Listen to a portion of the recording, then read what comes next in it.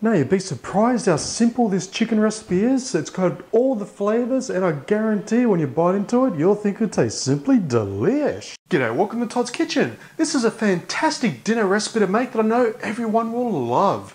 It is simple to make, but the flavors just pop in your mouth. They are really simple, but delicious. So join me today as I make my version of a creamy chicken mushrooms and bacon. And don't forget to check out toddskitchen.com for my new range of mugs. Now we're going to start this off with a pot on the stove and I have this pot on a medium heat. Now we want to try and use an oven proof pot because we're going to use this pot in the oven straight after we sear the chicken. So we're going to sear the chicken and this is simply going to help keep the chicken nice and moist. It'll keep a lot of the juices inside, which will prevent that dried chicken taste that you might get. Now you can use skin on, skin off, that's completely up to you. But personally, I prefer skin off because it's just that much healthier. So just on top, I'm just going to sprinkle on just some olive oil. Now it's up to you how much you use, but I'm just going to add about three, two or three cloves of garlic, minced garlic. So just pat that on top. Now you can use as much as you like or as little. And I know a lot of people love using extra garlic. It's just one of those ingredients I feel that you just can't have enough of sometimes. Then I'm going to sprinkle on some parsley just on top of each one. And some salt. And pepper.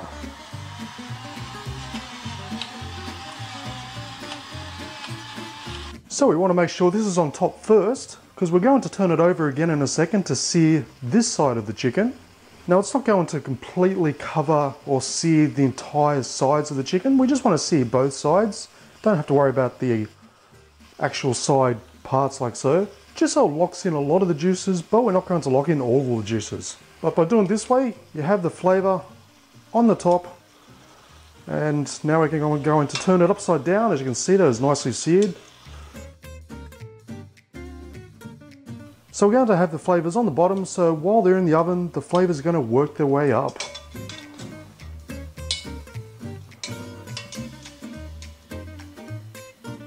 Okay, so we have our chicken just searing again now on the other side, and we're going to let that sear away for another three minutes.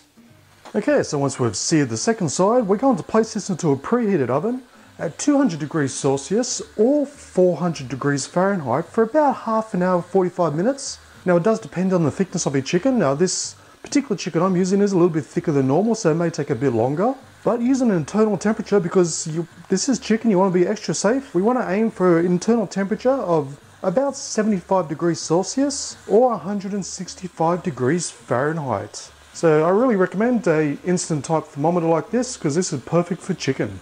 So half an hour, 45 minutes, but again, it depends on the size of the chicken. Okay, so I've just taken the chicken out of the oven and just by checking it has reached 165 degrees Fahrenheit. So there are still some juices in the bottom of the pan as you can see from there. We'll leave those in there but we're just going to transfer the chicken just to a plate for the moment.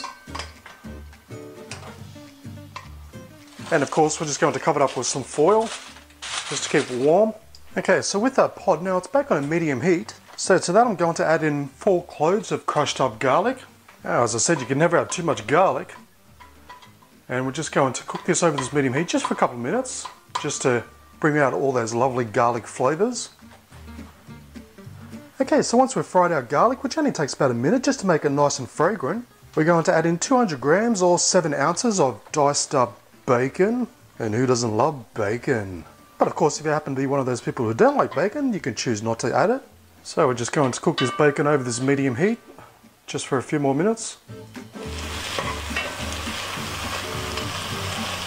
Okay, so once you cook the bacon for a few minutes, now you can cook it a little bit further to make it crispier. That's completely up to you. So next I'm going to add in 14 ounces or 400 grams worth of sliced up mushrooms.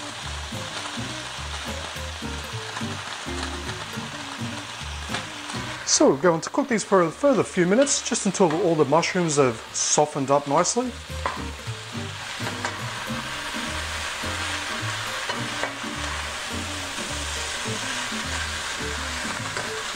Okay, so once we've softened up the mushrooms, I'm going to add in half a cup of chicken broth. What's also called stock here in Australia. Then one cup of heavy cream, whipping cream or double cream. Just any type of good thick cream that you can find. Half a cup of grated parmesan cheese. And just top it off with some pepper. Now you can add some salt if you choose, but there's no real need to because you'll find the bacon is already salty enough. But if you don't add the bacon, feel free to add a little bit more salt. And we're just going to stir this and cook it over a medium heat just until everything is nicely combined and you'll notice that it starts to thicken up a little bit. Now you, instead of using whipping cream or heavy cream, you can use normal milk, but if you want that thickness aspect to the cream, to the sauce, just add say about a tablespoon of corn flour or corn starch. So that is a just an extra trick to get around not having to use the whipping cream or thickened cream. Use normal milk but add cornstarch. But I do highly recommend the cream part instead of normal milk because it just tastes so much better. Okay, so as you can see, it is just starting to simmer now. So we're just going to let that simmer away for two minutes and that'll just help thicken everything up nicely. Doesn't matter whether you use the cornstarch, corn flour, or you use the thickened cream, it works the same way. Okay, so once our sauce is thickened up, we're just going to add our chicken back to the pot. And this will do up to six slices of chicken, six chicken breasts. And I've got another three that I've already pre-cooked as well, but just for the video, I was able to only sear three at a time. So I don't think we're making a lot of sauce for a little bit of chicken because I've actually got another three ready to go into this pot afterwards. So we're just going to let that simmer away for another two to three minutes just to give the chance for that chicken to soak up all those lovely flavors. And once it's soaked up all those flavors, it's ready. Okay, so once everything's nicely cooked, what you have to do is just, now you can serve this with rice or vegetables, completely up to you. Or you can have it by itself. So I'm just going to add some of that lovely sauce just over the top. And just top it off with a little more parmesan. Because just like bacon, you can never have enough cheese. And there we have our delicious, mouth-watery, creamy chicken with bacon and parmesan and mushrooms. It really does tick all the boxes for so many flavors. As I said, you can serve it on a bowl of rice or with vegetables, but honestly, it's a meal in itself. It's a restaurant quality dinner at a fraction of the price, and it's really so simple to make. But whether you have it by itself or with a side of vegetables or rice, either way, it's going to taste simply delish. Okay, we're going to start this off with a saucepan over the stove on a medium heat. So into the saucepan I'm going to place in one cup of brown sugar, followed by a teaspoon of salt, a third a cup of your favourite beer, and I'll leave it up to you what type of beer you want to use. And I've got four slices of bacon that I've just roughly chopped up. And I'm just going to give it a quick season just with a little bit of pepper. Okay, so as you can see it has now been brought up to a boil, so now we're going to cook this for a further 10 minutes. That'll help reduce a lot of the liquid, cook out the alcohol, but more importantly, it's going to enhance and combine all those lovely flavours. So it's all nice and infused. Okay, so it's been about 10 minutes and what you're left with now is a thick syrupy mixture. So, and it smells delicious. You can smell the bacon and you can smell the beer and the sugar acts like a nice glaze. So lastly I have about three and a half cups of pecan nuts. So just put that straight into the pot and give it a good mix until everything is nicely coated. And lastly I've just got an oven tray here and I've just lined it with some foil. So we're just going to place our pecan nuts onto our tray, just even them out just like so. Now once all nicely evened out, we're going to place this into a preheated oven at 180 degrees Celsius or 350 degrees Fahrenheit for 18 minutes.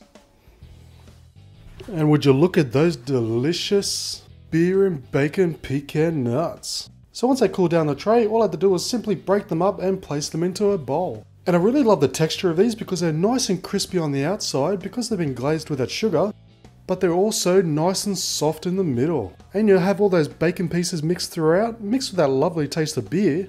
Trust me, these will be a party favourite that'll go fast because they taste simply delish. Now to start off with, on a fry pan, just lightly grease it with some oven spray, cooking spray. Then we're going to put the bacon on and we're just going to cook this just for a couple minutes on each side.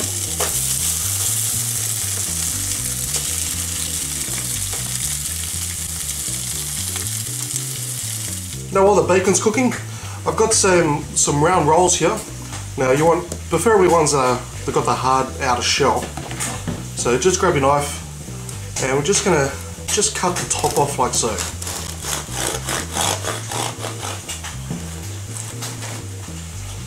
Just so you got the top off like that. So you leave about that much there. And what we're going to do is just grab all the mixture from all the bread from inside the roll. Just like so. So what you get is a nice hollow roll. Okay, so once done, make sure you save these tops because we're still going to use these. So let's put those aside for now. I've got a can of spaghetti here, so I'm going to put this into a microwave safe dish, just like that. Just spread that out a bit. I've got some baby tomatoes here, so we're just going to cut these in half. Just like that. Okay, once they're cut in half, we're going to place it into the bowl with the spaghetti. And we're going to stick this in the microwave for about two minutes to warm up.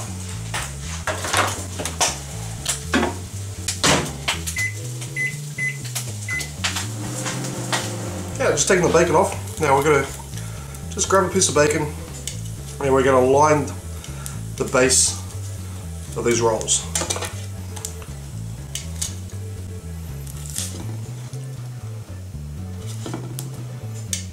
Just do it until you've got complete coverage all the way all the way around the inside.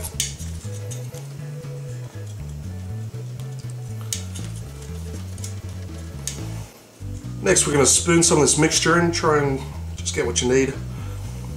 So you get some of the spaghetti, some of the tomato, and just fill the gap in just like that.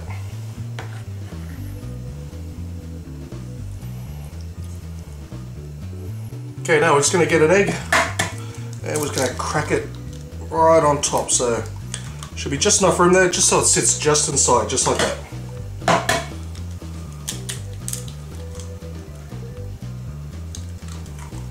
There we go. Okay, with your griller on high, um, when I say griller, in America it's called a broiler.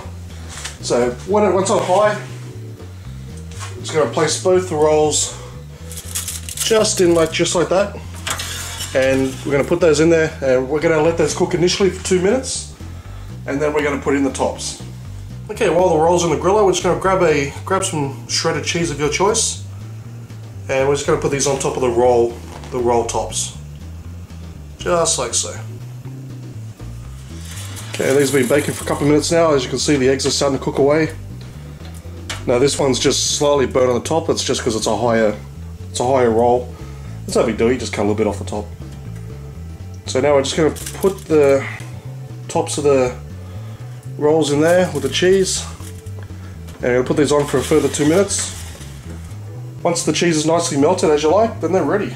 Okay, so I've just pulled this out of the griller. Now I'm just going to give it a light season with some salt and some pepper.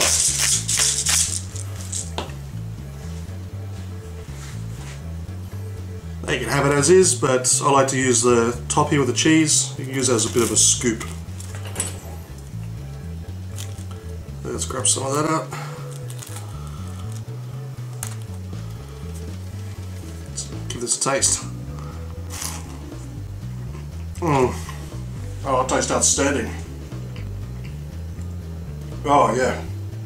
Okay, all the ingredients are listed below. Thank you for watching this episode of Todd's Kitchen. Please show me some love by giving me a thumbs up, leave a comment, and I'll see you next time for another delicious recipe. Okay, to start off with, I've got a pot here on the stove on high. Now, we're going to put in six rashers of bacon that I've just finely chopped up and about 100 grams of unsalted butter.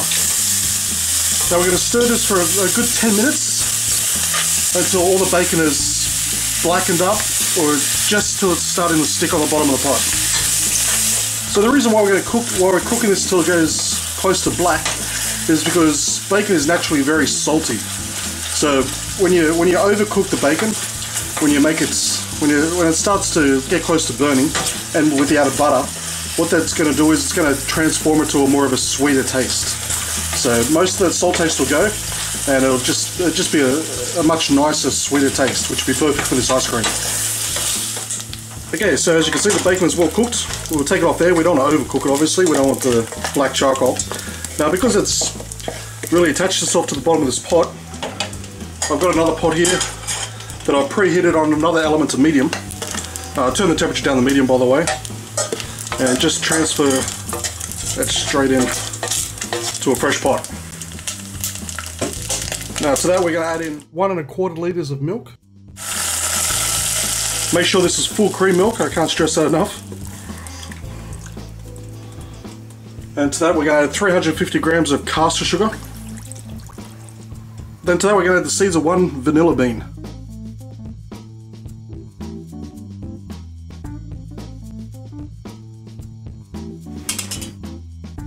Then just chuck in the rest of the vanilla beans as well. But make sure you de-seed them first. Those vanilla beans, are, they're very intense flavour and they will, trust me, it'll make a hell of a difference. Okay, so we're going to bring this to a simmer and we're going to let it simmer, stirring occasionally. Just for, for about a good 10 minutes and that'll really infuse all that bacon, vanilla and sugar taste right into the milk. Okay, now in a bowl I've got 12 egg yolks. Now I want you to give it a very, very good whisk, just so it's completely broken up. Okay, I've had this on a low simmer for 10 minutes now. Now grab in your yolk mix, just pour it in as you're stirring it around. Just do it slowly.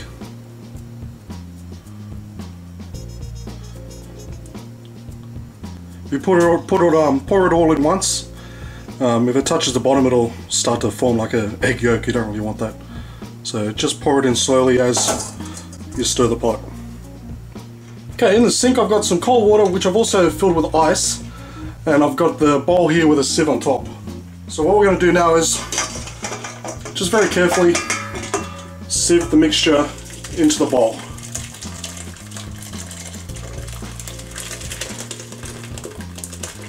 Okay, once it's all sieved through, we're to let this sit here for about about half, give it, give it a good half an hour just to cool down completely. Now that the mixture's cooled down, we're to whip up 600 mils of thickened cream. And we're to whip this up until soft peaks start to form.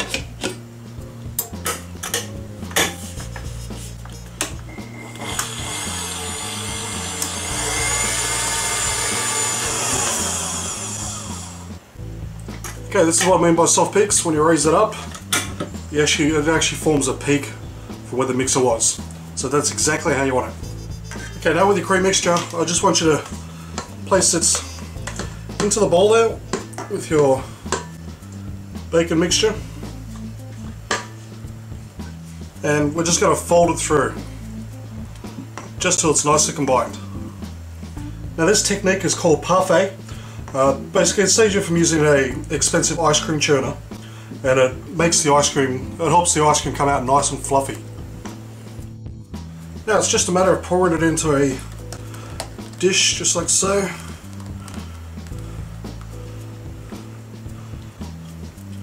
Now I'm using a bread dish here and which works out good because as you can see it's pretty much exactly the right size. Okay, once done we're going to place this into the freezer for, yeah, preferably overnight, but I'd say about four or five hours should do it perfect. Okay, so I had this in the freezer for a few hours now. Now it's, until you touch it, it's pretty hard. It's looking fantastic. Now I really want to give this a try. Here we go. Mm. That's not too bad. There's a you can taste the hint of bacon, eggs, and that cream. Oh, that's that's actually pretty damn good. Now, trust me, don't knock it unless you try it. It's actually not too bad. It's got a very distinct taste, but it's no, it's good. Thanks for watching this episode of Todd's Kitchen. Please show me the love by giving me a thumbs up, leave a comment, subscribe, and I'll see you next time for another delicious recipe. Okay, so we're going to start this recipe off by making our candy glaze. So into a bowl I'm going to place in half a cup of brown sugar, And to that, a quarter cup of your favorite beer. And using a whisk, we're just going to continuously whisk this until it's the sugar is completely dissolved and it, the mixture starts to thicken up. Okay, so next I've got a baking tray and I've lined the base with some aluminium foil and I have a cooling rack on top. So it's very important we use the cooling rack because we want the air to circulate around the bacon. So next we're just going to lay our bacon across the rack. And we're going to place this into a preheated oven at 220 degrees Celsius or 400 degrees Fahrenheit for 10 minutes. Okay, so I've just taken our bacon out of the oven and we're going to grab our glaze and a brush and we're going to just coat each piece of bacon just like this. Okay, once they're coated, we're going to turn each piece over and carefully glaze the other side. And what we're going to do is we're going to do this about two to three more times. Basically, it's up to you how much you want to do it. We're just going to do it till the bacon is at your liking, which you want it close to burnt, but not too burnt, because you really want that crunchy bacon taste and look and feel. Okay, so we're gonna place this back in the oven for another 10 minutes. Okay, so I've just taken our bacon out of the oven and I've glazed it another two times, which means another 20 minutes. So the bacon's been in the oven for a total of 40 minutes. And look at that, it looks delicious and I can smell it too and it smells fantastic too. So all we have to do now is we're going to let this sit here on the rack to cool down for about one hour and in one hour it's going to be nice and crispy. Now would you look at that. Now isn't that just a sight of beauty? So just when you think you can't improve on the taste of bacon, someone like me comes along and adds a bit of beer and sugar and does just that. And I know what you're thinking, what's it taste like? Well, let's give some a try. Oh my. That is so good. You have the lovely, lovely bacon taste combined with that sweet, sweet beer taste. And you put those flavors together, and I have no problem saying this tastes simply delish. Okay, so to start this off, into a bowl we're going to pour in our barbecue sauce. Now you can use any type of sauce or marinade that you like. I'm using a smoky barbecue flavored. Okay, now to that I'm going to add in our apple cider vinegar, then our bourbon. You can use any type of bourbon, just use your favorite. And we're just going to whisk that through until it's well combined. Okay, so next I've got some bacon. Now what I've done is I've taken most of the fat off, but I've left some of it on the bacon itself, and I've just placed it into a mini food processor. Okay, so what I'm going to do now is I'm going to process this until we get up to a, it's like a paste consistency. Okay, so now that it's more like a paste, to that we're going to add in about a teaspoon of salt, and half a teaspoon of black pepper, and one and a half teaspoons of brown sugar, and half a tablespoon of smoked paprika, then one eighth of a cup of sweet paprika, and then we're going to pulse this again until it's well combined. Okay, so next I have our chicken breast here. Now what I've done is I've just cut it up into bite-sized pieces as so. And I've also patted it down with some paper towel just to get rid of that extra moisture. So onto the chicken we're going to put on our dried paprika mix. And just simply using our hands, we're going to rub it all the way through just till all the chicken is coated. Okay, so next I have some wooden skewers. Now I've had these soaking in water for about half an hour. It just helps prevent them from burning when they're on the barbecue. So grabbing a piece of chicken one at a time, we're just going to work it onto our skewer.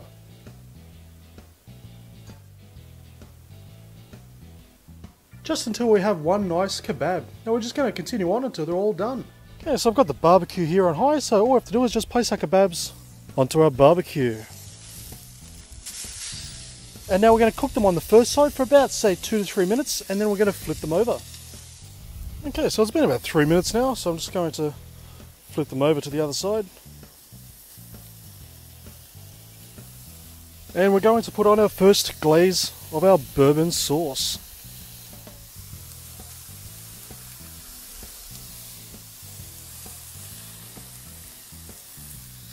And we're just going to let this continue cooking on this other side for another two to three minutes. Okay, so it's been a couple of minutes now, so again I'm just going to turn them over And we're going to cook it on the other side for another one minute, just to cook in that sauce, that bourbon sauce. And while it's on the other side, we're just going to sauce up the second side.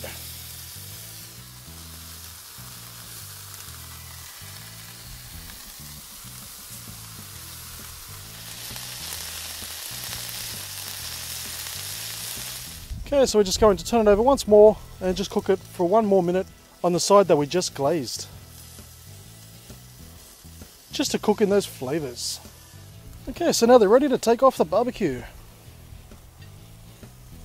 Now optionally you can just put on a little bit more glaze just for that extra flavour.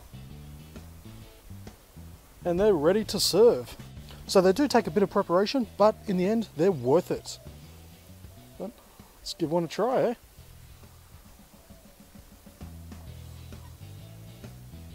Oh, now that is absolutely delicious. The chicken is cooked just right, and with the infusion of two different types of paprika flavors and the smoky barbecue, and you can taste that bourbon. Now, I must stress you don't have to worry about kids having this recipe because the alcohol will burn off on the barbecue. So there'll be zero alcohol, but 100% taste. But the best thing about these bourbon barbecue kebabs is that they taste simply delish. Okay, so we're going to start this off, and we're going to start off with the obvious, and that is our lovely strips of bacon. Now we want to get the general size first, so lay some horizontal, then vertical. And what we're going to do is we're going to weave these pieces of bacon in and out of themselves, and that'll help them stick together.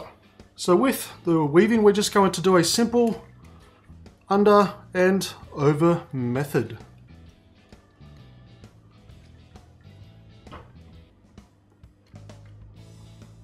and try and keep it as close and as tight as you can make it.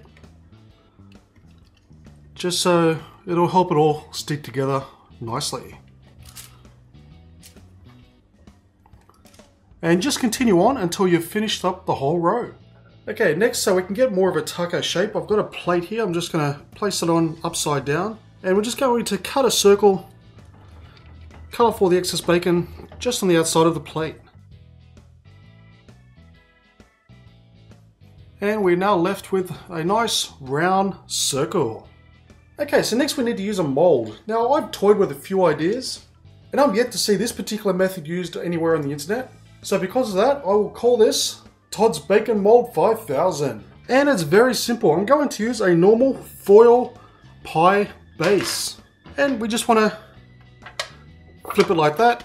And we're just going to mold it. So we have obviously the flat part there because you want your bacon mold to be down flat like so so flat part there and just make some small legs on the bottom just like that so once you've got your mold sitting right you want it so the bacon's going to be sitting over and it's going to look like a taco shell. But I'm going to have it so it's a flat base. That way your taco is going to be sitting up like so.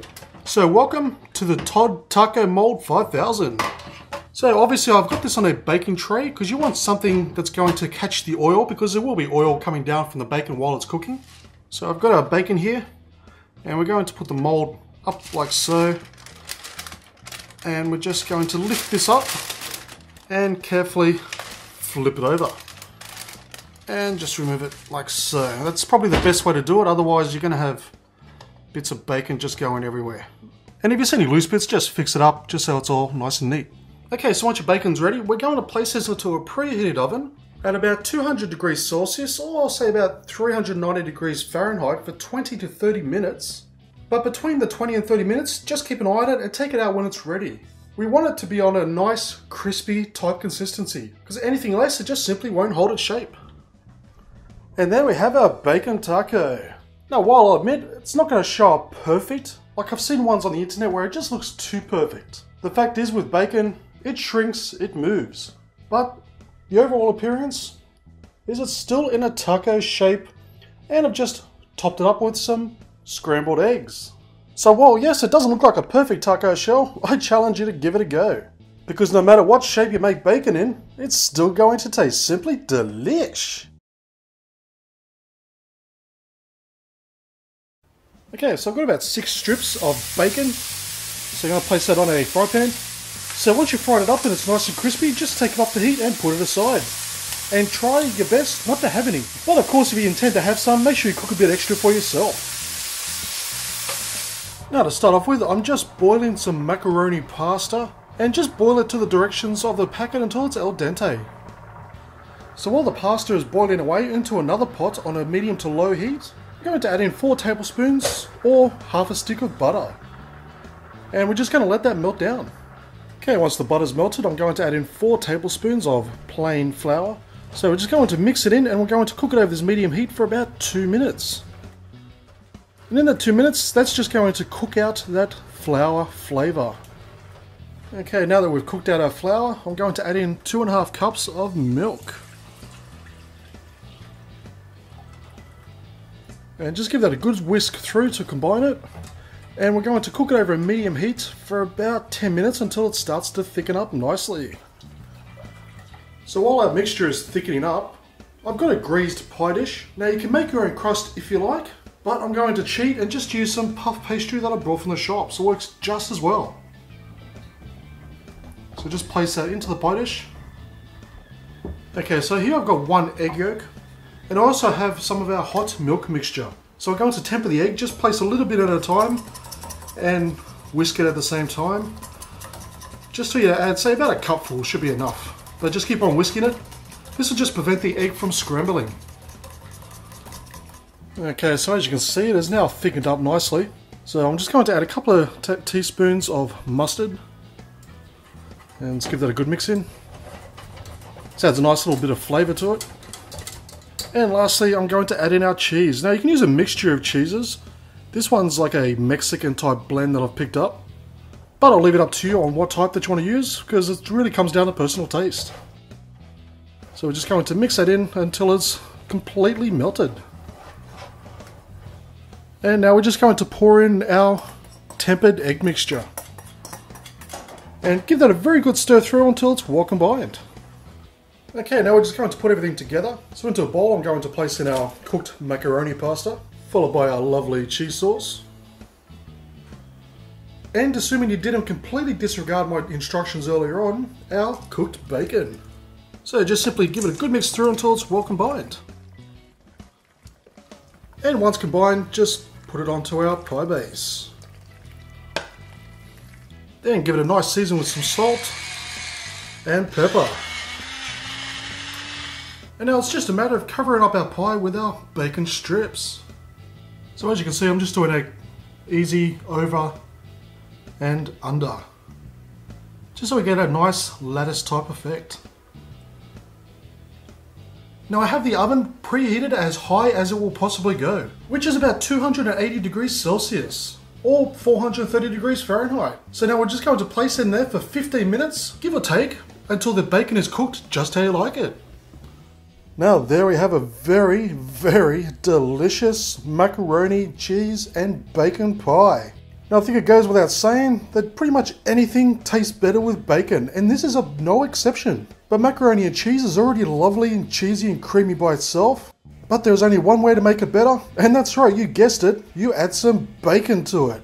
And let's be completely honest with each other, just looking at it and knowing what's in it, you know deep down in your heart this is going to taste simply delish. Now we're going to start off with some mashed potato. Now you can make it any way you like, you can steam it, you can boil it. Just cook it the way that's most convenient for you. So next I have a block of cheese here. Now again you can use any type of cheese. That's what I love about this recipe. So with your favourite bit of cheese, that I've just cut into a cube, we're going to cover that in our mashed potato. Now once covered, we're going to dip it in some breadcrumbs and just cover the whole circumference of our mashed potato with breadcrumbs. And lastly, we're going to wrap around a piece of bacon. And just with a wooden skewer, just insert it through our cheese ball. And of course, whatever you do, don't soak these wooden skewers because you usually do soak them when you're going to use it for cooking, but these are going to go in hot oil, so don't soak them, whatever you do. So finally we're going to deep fry them. Now if you're confident using a pot on a stove, go for it. I'm just using a mini deep fryer here. And I have it set for 180 degrees Celsius or 350 degrees Fahrenheit. So carefully with your ball, we're just going to place it into the deep fryer and should only take about a minute to cook. The bacon will cook pretty much instantaneously. It's more so you can melt the cheese on the inside. So it shouldn't take long, just keep an eye on it. If you see cheese starting to drip out of it, well obviously pull it out straight away. But of course it just depends on the size of cheese that you've used or the size of the ball. So again, should only take about a minute and it's done. Okay, so that's that's done now. So just keep on doing them. Do like one or two at a time until they're all done.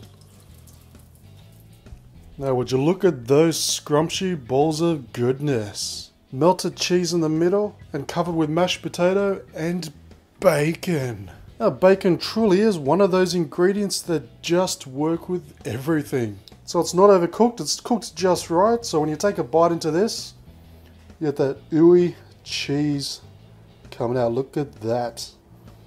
And bacon is mm, so crispy. And you put all those ingredients together, especially with this bacon. Oh, bacon. And these bacon and mashed potato balls taste simply delish. G'day, welcome to Todd's Kitchen. I've been asked by a particular subscriber constantly to make this recipe, so here it is. It's so easy, so simple, so delicious. Happens to be keto, but who cares about that? Because it's just mouth-watering. So join me today as I make my version of a bacon bomb. Okay, so this literally takes just a couple of minutes to prepare. It's incredibly simple and the taste profile is fantastic for such a simple preparation. So we're going to start off with our bacon. So we're using streaky bacon and we're going to just make a weave. And you want to try and make it a square version so we're just going to leave a space in between each one. So if you've got longer ones, use longer ones of course. And the longer and the larger, the better, because it's more bacon, more deliciousness. Okay, so basically, want to go over, under, and we can just move that over. So again, under, and over, and so forth. And we're just going to keep on doing this until we get a lovely bacon weave. So we're just going to make it as tight as possible, just so you don't have any gaps in between. Just so you've got complete coverage and the meat won't come oozing out of our bacon weave. And it's as simple as that. It literally takes just a couple of minutes to make a bacon weave. So you can just make sure it's all nice and pretty. Okay, so it's that simple. We have our bacon weave. So there's no gaps, it's nice and tight, so you don't have to worry about the meat coming out. Okay, so for our next ingredient, we're going to use some ground pork mince. They don't really need to worry about exact measurements. You want to play roughly by ear. So you can do like half a kilo or a pound. So you just want to stick it just in the middle. Just get as much as you can in, but not, don't overdo it, otherwise you won't be able to roll, uh, wrap it up properly. And push it down a bit, just get all the air out so you save space. And I'm just going to put a little indent in the middle. And I'm keeping this very simple. In the middle, I'm just going to add some cheese. Up to you what type of cheese you like. Mozzarella, tasty cheese, just whatever you prefer. It's very simple. But who doesn't love melted cheese? Now after this, you can add any type of vegetables or seasoning that you like. It's really very versatile. But because this is a bacon explosion, I just want to keep that lovely pork taste. The minced pork and the bacon. So I'm just going to season it lightly, just with some salt, and a little bit of pepper. Not too much because I don't want to overshadow that flavour. So at this point, it's really incredibly simple. Using our foil that we've got underneath our bacon. We're just going to slowly roll this up without rolling the foil inside, of course. So we're going to let the foil do the work for us till we have a lovely round log of bacon. So push as hard as you can, or relatively firmly, just so it's one thick log. And don't be afraid to open it just again, just to be on the safe side. And as you can see, it is nice and round and compact. And just moving the edges like so, So because we're keeping it in the foil, we don't need toothpicks or anything like that.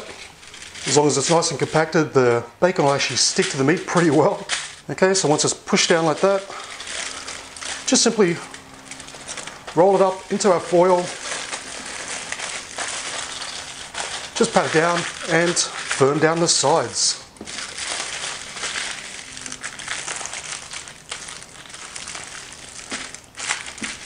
And that's it. It's done and ready for the oven. Okay, so we're going to place it into a preheated oven at 180 degrees Celsius or 350 degrees Fahrenheit for about 45 minutes. And at 45 minutes, we're going to place a digital thermometer inside of our bacon bomb. And as long as it's above 71 degrees Celsius or 160 degrees Fahrenheit, you know it's ready.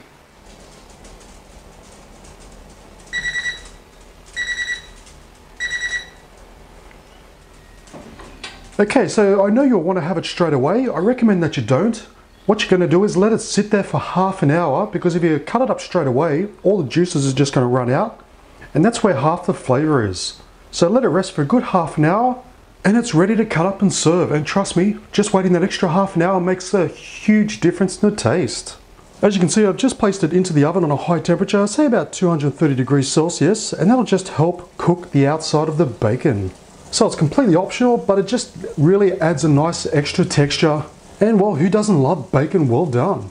And the best thing about cooking it on the outside afterwards, because it only takes a couple of minutes, you can choose exactly how you want your bacon.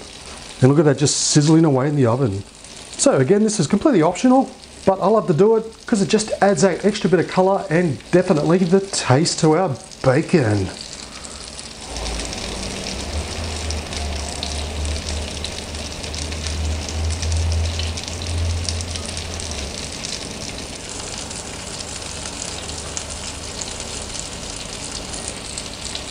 Okay, so all we have to do is just cut into our bacon bomb.